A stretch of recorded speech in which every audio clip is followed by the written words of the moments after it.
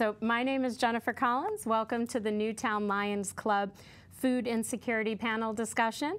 Purpose of this presentation is to build awareness about the food security issues and tell you about our second semi-annual Stuff a Truck event, which is currently scheduled for Saturday, April 6th at the Stop and Shop in Newtown. Today we have Gary Peters here, our first presenter, who's acquainted with the food security um, issues, both globally and locally. And the facts to be presented, they weave together global, national, and local story that really can't be ignored. We also have Arnie Berman here. He will describe the Newtown Lions efforts to try to relieve the effects of food insecurity locally by our semi-annual Stuff a Truck event. Sometimes the terms food insecurity and hunger are confused. Hunger refers to an individual, whereas food insecurity really refers to the family unit. As far as the magnitude of the problem, about 2.23 billion people worldwide and more than 40 million people domestically have experienced excuse me, some level of food insecurity. Gary, how did you become aware of the food insecurity issue? Well, about eight years ago, I began driving a food truck mobile kitchen uh, into the uh, projects in Bridgeport, uh, Marina Village, and uh, I was amazed when I would uh, arrive on a Monday evening and find anywhere from 90 to 140 people lined up for an evening meal. Uh, generally, about 40% of the people that were in line were children. And um, as I learned during the summer, that uh, many of those children, that meal that night was going to be their first meal of the day. And over driving the food truck down there and getting to know the people down there, it really put a whole different face on food insecurity, one that was very different than what I expected. Uh, and over and above that, uh, I've been involved here in Newtown with the Interfaith uh, Partnership for Refugee Resettlement and working with the refugees that our group has, uh, uh has, has helped immigrate into this country. Uh, that gave me a much better understanding of what was going on worldwide. I see. So maybe um, explain to us what exactly is food insecurity. Yeah, and, and, and I normally don't like to read things for something like this, but here I, I want to make sure that I get all of the wording correctly. Food insecurity refers to the economic and social condition that limits access to safe, nutritious food and sufficient amounts of it. According to the United States Department of Agriculture, people who face food insecurity do, general, do not generally have sufficient resources to access food on a regular basis to sustain a healthy lifestyle so that they may eat lower quality food or skip meals in their entirety. And is this really a global, a national, or a regional problem? Well, it's all three. And, and from a global standpoint, as you just pointed out, uh, there are roughly 2.3 billion people worldwide that do not have adequate food supplies. And when the issue of food insecurity grows worse by the day, and it is exacerbated by uh, wars such as Ukraine and Gaza. And if we just look at a couple of countries to give you uh, uh, an idea of the magnitude, Republic of Congo in, in uh, Africa, 20 26% of the population is food insecure. Afghanistan, 46%, Yemen 55%, Syria 55%, Pakistan 43%. Those five countries alone represent 85 million people that are food insecure, with millions of people going hungry. And um, as I said, it gets worse and worse by the day. And globally, there are between 250,000 and 400,000 children currently suffering from wasting disease. They are starving to death. And the issues related to the mass migration, unrest, wars have been fought over food insecurity.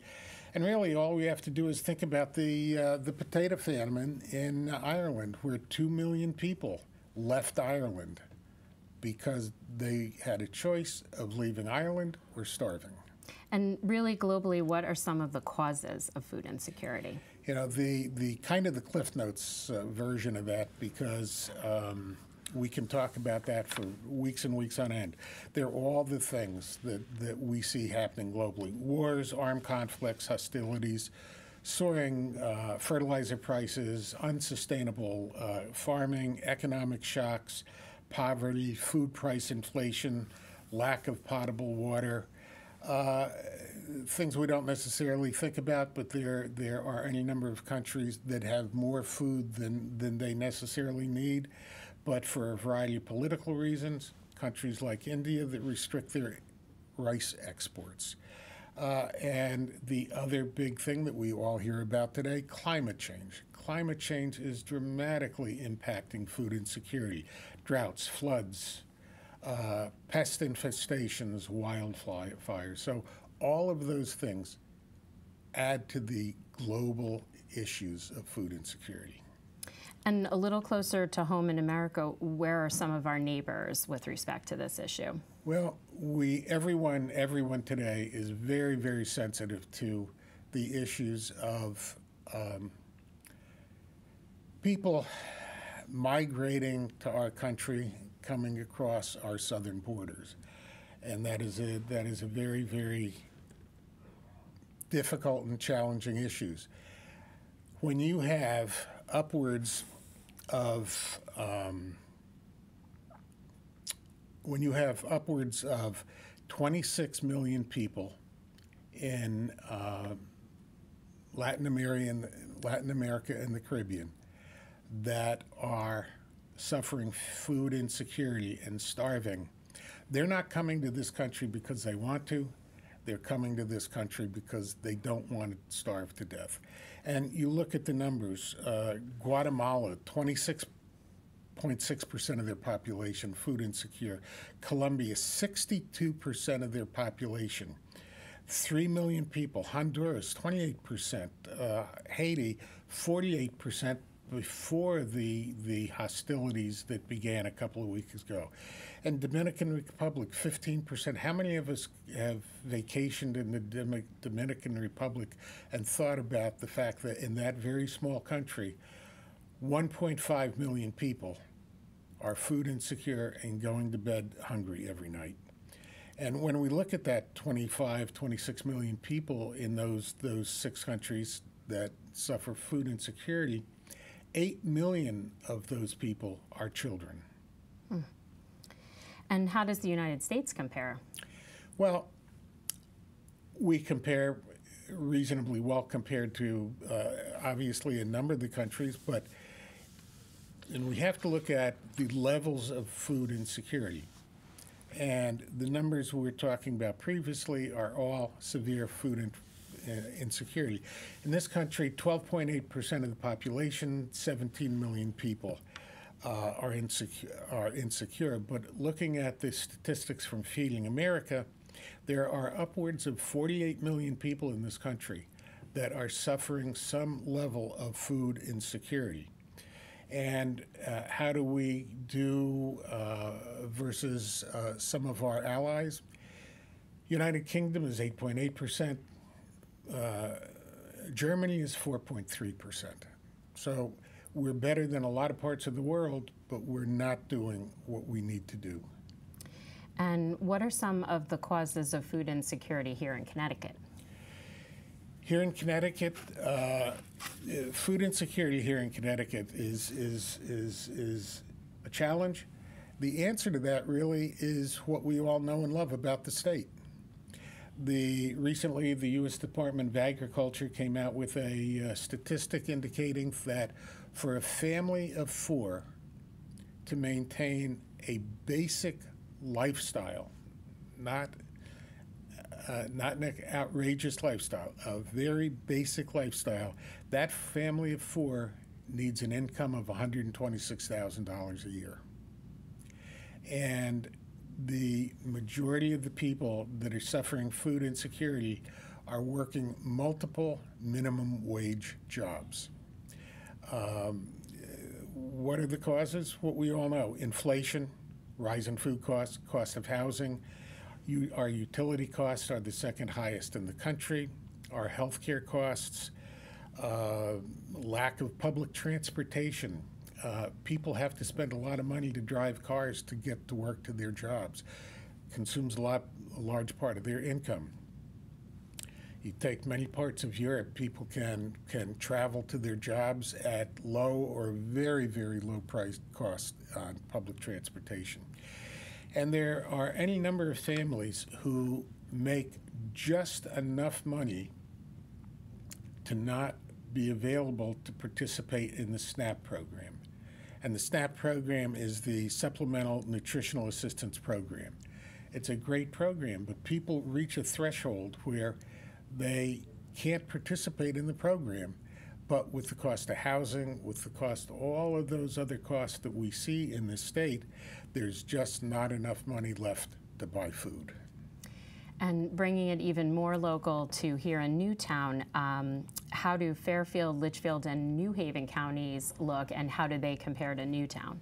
Yeah, well, county-wise, uh, Fairfield, Litchfield, and New Haven, they're all about average. We're all at about 10% of the population is food insecure. Now, what does 10% mean in uh, Fairfield County? That's 100,000 people. You know, we're regularly touted as being one of the wealthiest counties in the country. Yet 100,000 people are deemed as severely food insecure. Uh, as far as locally, Newtown is is is fortunate. It's a it's a, a prosperous community. 6.3 percent of our population, but that is 1,700 people. Uh, Bethel, 7 percent, 1,300 people. Danbury, 10 percent. Uh, and now, as we go down and we look at Bridgeport, 16.2 percent, 24,000 people. Waterbury, 16.5 percent, 18,750. So, and these people are really all our geographic neighbors. And what are the implications of food insecurity? Well, we have implications. We have to look at the implications with children because they are they are they're just so impacted and and and doing some of the volunteer work I do in Bridgeport, I see it all the time. Uh, their phys- physical development, their intellectual development, their learning disabilities, uh, mental health issues, their increased sus- susceptibility to childhood diseases. Uh, frequently, the children are being brought up without access to fresh fruit, fresh vegetables, proper types of food to eat. So there's uh, obesity, uh, childhood diabetes, um, and uh, increased hospitalizations and increases in health care. And, and these are all kinds of things that we don't necessarily think how things like their health care costs impact all of our lives.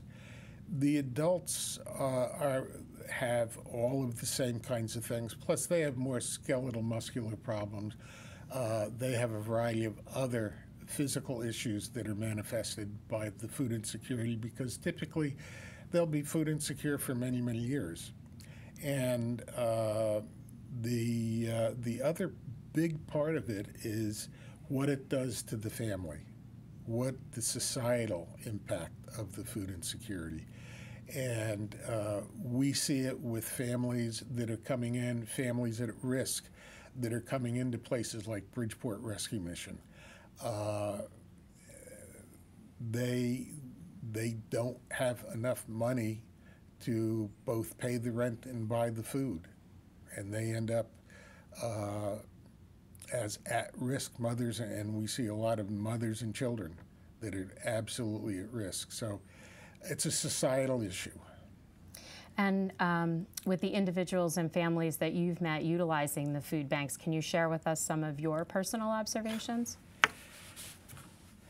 My, my observations are interesting because they put a whole different face. We, I think many of us have a tendency to, to have our own thoughts and mental images of, of people that are seeking charitable organizations. I have met so many people, so many great people, so many wonderful people. These folks are so appreciative of what others are doing for them, so thankful about uh, what other people are doing for them. They don't take it for granted. And I can tell you from firsthand experience that many of these people are very, very unhappy that they have to seek a food bank uh, to to to be able to support themselves. They don't want to do that. They're proud, and and this takes away their pride, and it hurts the children. I I, I see the. I see the um, uh, mothers when they bring their children into the food pantry. Uh, they don't want their children to be in that food pantry. They want their children to understand what it is to be independent. And candidly, from a personal standpoint, because I've, I've met so many people over the years, and, and from time to time, I will not be present down there for a few days or for a week or two for whatever reason. And when I return, I have all these people coming up to me Where have you been? Are you okay? Do you have a problem? Reaching out to see if I need help from them because they want to give back. And and and I have some. I, what's interesting is is there are some folks that I've I've really gotten to know over the years. Women that are well past their 70th birthday, using walkers, uh, that are walking a mile and a half in each direction even when it's raining and snowing, to get to the food bank because that's what they have to do. So uh, it's it's it's uh, it's been very fulfilling actually from a personal standpoint, and it's it's I suggest anyone that would like to volunteer in any food bank and do it regularly because you're going to meet some great people. Um, are there any other resources available? Well, and, and, and what happens with the uh, the food banks because these are these are massive operations at times. And we have a national organization, Feeding America. Feeding America works with over 600 providers and affiliated food banks, and they work to try and organize uh, food drives. They work uh, very much on the corporate level to get corporate funding for food banks, food pantries, soup kitchens. Um, because again, they they the the st- stats from Food America is that their organization serves 44 million people, including 13 million children. Locally, we have Connecticut Food Share. Connecticut Food Share works with 600 local providers and programs and again, they help organize food drives. They help organize stuff a truck events, not ours, but other stuff a truck events. And they also uh, they do a lot of supplemental food problem programs for seniors because housebound seniors have huge problems because they can't get out and they don't have the money and they're not frequently they're not uh, avail, uh, able to avail themselves of home health care of any variety. Uh, so they have programs for seniors, and they also help people uh, apply to SNAP because, again, a lot of uh, a lot of people um, don't know how to do the paperwork. We don't necessarily in this country make the paperwork easy. Now, on a local basis, uh, we have uh, Daily Bread Food Pantry in, in Danbury, and they do a great job. They're open two mornings a week, two afternoons a week. Uh, people have to show their ID and, and register, uh, but they're open to people from any geographic area. They don't ask who you are, they don't ask where you're from. Uh, they annually support a little over 31,000 families.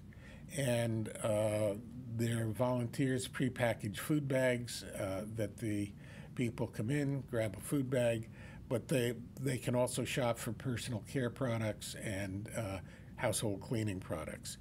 Uh, Faith Food Pantry here in Fair, in, uh, in in Newtown. uh, open two hours uh, a day, two days a week, and one Saturday a month. And uh, people showed their ID and uh, um, what have you. Faith, uh, Faith is open to Newtown and San Diego, Sandy Hook uh, residents only.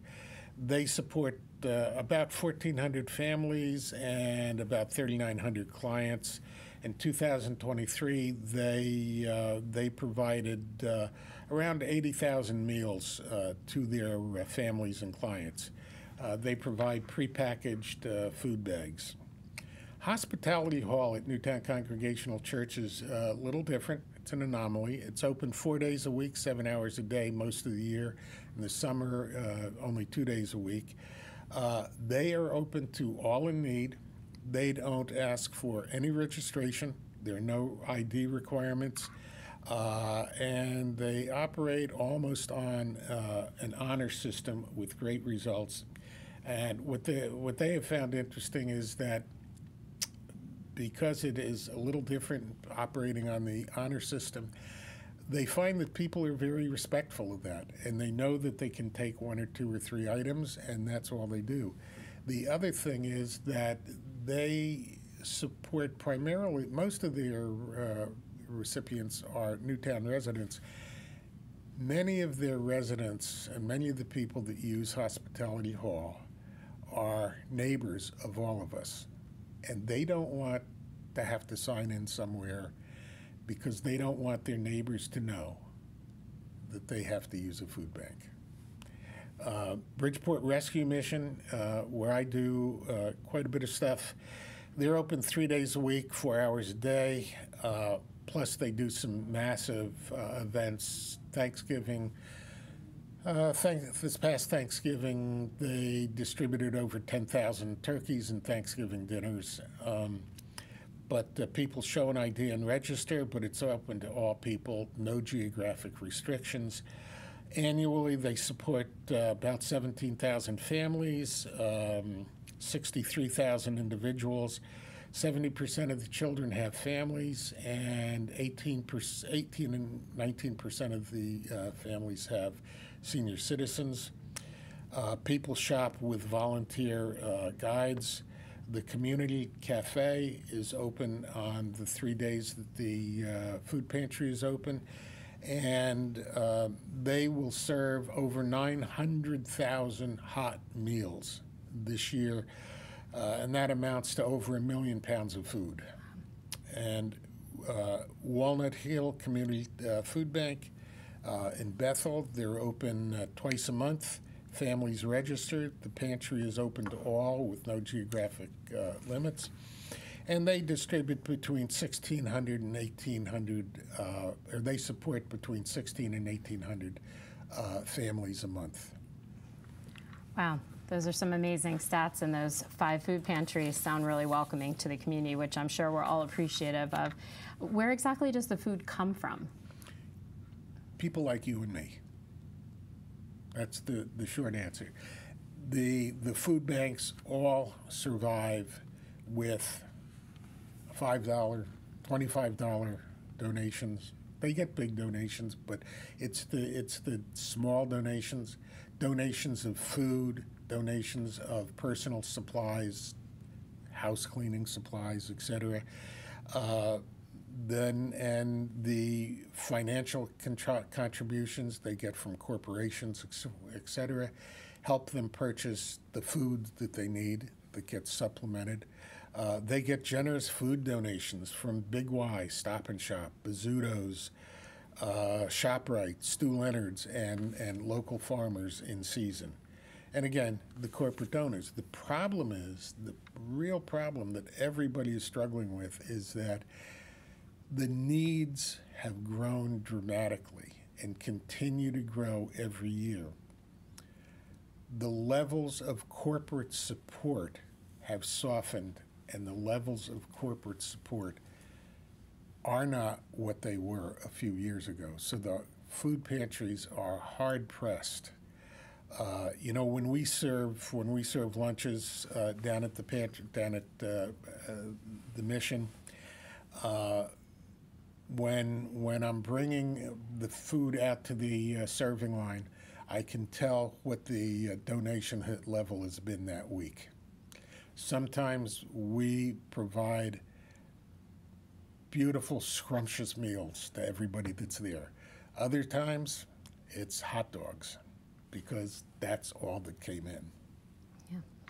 And to assist then, what is it that the public at large can do and what are the Newtown Lions doing? Well, it would be nice if we could solve all the problems of society, but we can't. But we need to work together. It's critical that we work together, and it's critical that we recognize that's what's what's happening in Afghanistan, what's happening in Haiti, what's happening in Bridgeport. At some point, that impacts every one of this, uh, and we can't avoid that.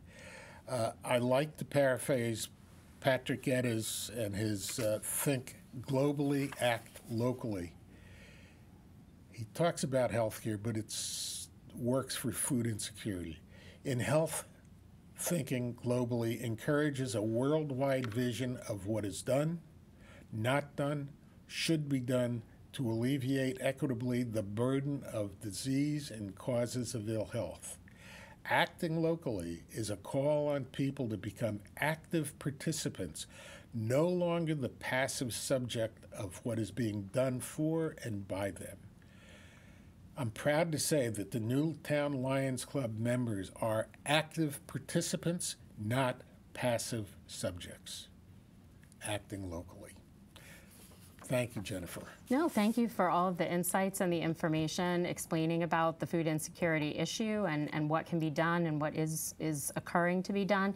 Um, and in that same vein, I'd like to introduce uh, Arnie Berman uh, to speak about the second semi-annual Stuff a Truck event that, again, is scheduled for April 6th on Saturday at Stop and Shop in Newtown. So thank you for joining us, Arnie. We're thrilled to have you.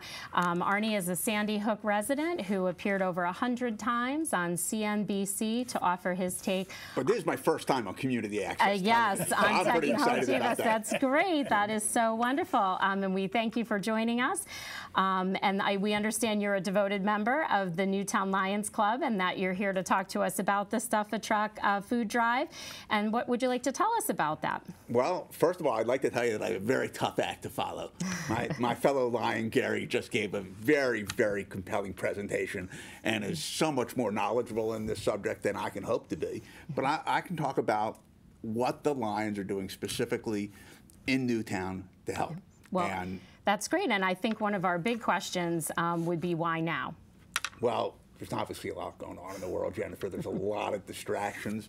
People could focus on this presidential election. They could focus on the, you know, whether or not the Princess of Wales is okay.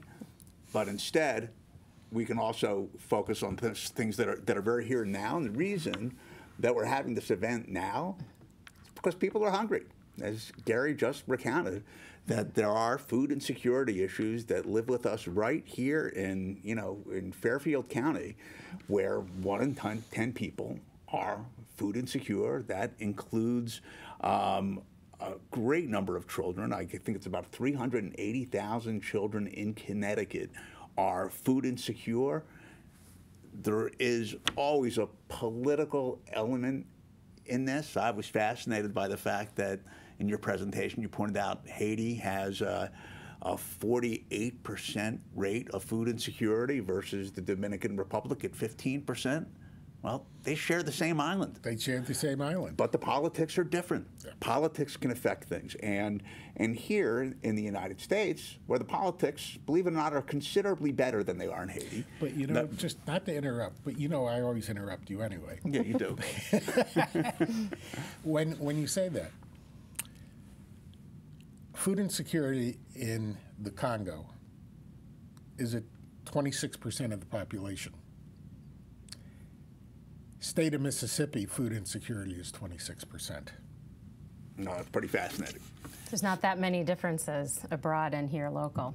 Well, and here locally, one of the things you can say is that while there's not a lot to be fond of in remembering the pandemic period, some of the programs that came along really did a great deal to reduce poverty rates and to reduce the number of children that were food insecure and, and hungry. And since those programs hit an expiration date about 18 months ago, we have seen a spike in the number of people that, that are hungry and food insecure. And that's one more thing that's making any contribution, any effort that the Lions can get involved in to help. It makes it it makes it quite timely. And what exactly makes this Stuff a Truck event different from other different types of food drives for charity? Well, we've done a couple of things. First of all, we've designed our Stuff a Truck event to be just a whole heck of a lot of fun. and, and that begins with the truck. Here, show, show this for a second, would you, Pete? I'm holding up a picture of the truck, right? It is a wicked cool Oshkosh military tactical vehicle that is great for, fill, for when you fill it with groceries. It's a lot of fun to look at. Kids see it from the road, they want to come see it their parents, they want to see it. Um, so it's not like we went to U-Haul and you know just got a regular old plain vanilla dry van we've got this wicked cool vehicle that people really want to check out. If I recall, it was interesting to um, just all different ages. I think our older population was interested. It brought back some memories to those who served, and the kids thought the truck was amazing and they wanted to climb inside. And I know they were very generous with allowing the children to do that. And uh, there was a lot of curiosity around the truck, which was great to bring people in to see what the event was and about. You're, and you're referring donations. to the event that we did on September 30. Yes at another market in Newtown. Correct. And like then, the vehicles being provided by the, the 411th uh, Civil Affairs Battalion mm-hmm. of the U.S. Army Reserves. Mm-hmm. They drive the truck. They're with us all day. They're incredibly helpful and devoted. They're, they're based in Danbury, and we're, we're thrilled that they're uh, that they're able to participate again. Another thing we do to make it mm-hmm. fun, besides the, the truck, is we we have designed it to maximize contributions and to minimize barriers to entry. So the typical food drive, you hand people a piece of paper, you ask them to wander up and down the aisles and find items that the pantries need. Well, folks can do that if they want, but we offer a different option. It's a little easier. We offer pre-bagged options. We offer a $10 bag that's enough to feed a family of four for lunch. We offer a $20 bag that's enough to feed a family of four for dinner. So people know exactly the value that they're providing. And it makes it so easy that pe people really gravitate towards that, that option. Um, so those, the those combination of those things created a very successful event for us in September, and we think we're going to have an even bigger one uh, come April 6th. So tell us a little bit about um, the September 2023 event. That was the first ever Stuff a Truck for the Newtown Lions. And mm -hmm. tell us, um, what do you think made that event so successful? And what's a, some, you know, a personal memory that you recall from that event that made it special? Well, it was working with the two of you that partly, but that made it very special. Um, part of what made that event at the Big Y so special was like the management at Stop and Shop. Uh, managements of both markets have been very devoted to making sure that we have a very successful event, bringing on extra staff, devoting uh, man and woman power and space, um, helping us bag the groceries, doing everything they can to, to advertise and support the event that we're having. Um, at the event we had in September, we stuffed the truck with over 300 bags of pre-bagged groceries worth well over $3,000. We also had several hundred dollars in other contributions from people wandering up and down the aisles. We also collected about $1,300 in cash contributions. The thing that blew me away most is that as you look at all of the shoppers that came into Big Y that day, we had a shopper participation rate of 50%. That's amazing. It's, it was really cool. People were excited and wanted to be a part of it. It was, uh, it was a great day to shop. It was a great day to be a lion. Um, And despite we- the fact that the weather was a little inclement and on and off, perfect. I still feel like the vibe overall of people leaving the market was just amazing as far as they're just feeling good about themselves that they were able to contribute something on a, a busy weekend There, day. there, there was no hesitation, and, and frankly, I was amazed by the number of people that just reached for that twenty dollar bag and said, "That's what we're going to do." We, we we had sold as many of those twenty dollar bags as we did ten dollar bags. And That to, and to give you an idea of quantity, that amounted to, because at the mission, we weighed everything and then extrapolated, that amounted to about 2,400 pounds of Wow. food. That's amazing. And this time, why Stop and Shop for April? Well, so first of all, Stop and Shop wanted to be involved, right? And they also wanted to be part of something that was a, that was a big deal. And, and one of the reasons we're excited about Stop and Shop is that Stop and Shop is the biggest supermarket in, in Newtown. That and on a given Saturday, they had tracked as many shoppers as all the other markets in Newtown combined. Hmm.